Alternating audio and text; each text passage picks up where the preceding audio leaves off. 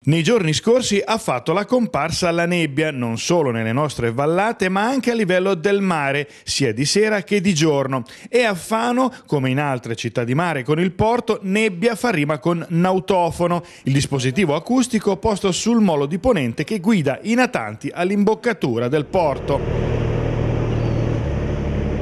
Un suono a cui i fanesi sono particolarmente cari, lo dimostra il dispiacere profondo creato ai marinai dell'annuncio nel gennaio del 2012 del comando zona Fari della Marina Militare di Venezia, da cui si disponeva che Fano doveva mandarlo in pensione.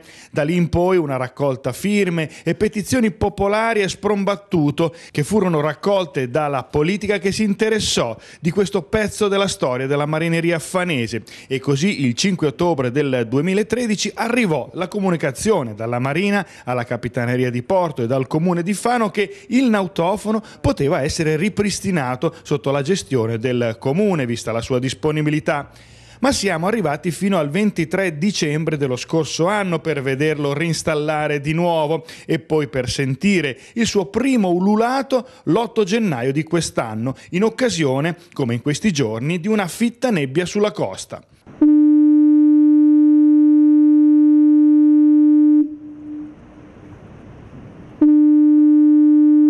Ora però è nuovamente silente, niente ululato, niente romantica atmosfera da lupi di mare, che però ben ricordano il suo significato e il prezioso aiuto che questo supporto sonoro rappresentava per loro. Faceva piacere sentire da casa nelle notte di nebbia, di, di neve, sentire quel rumore dell'autofono che mi dava un senso di una persona che si lamenta. Per voi marinai era un supporto importante? Sì, sì. Tornavate a casa? Veramente, anche quando ho navigato era un supporto, non c'erano gli strumenti di oggi, ma era un supporto veramente importante. Quindi adesso lei chiede che questo autofono funzioni? Sì, sì, io ci tengo che funzioni.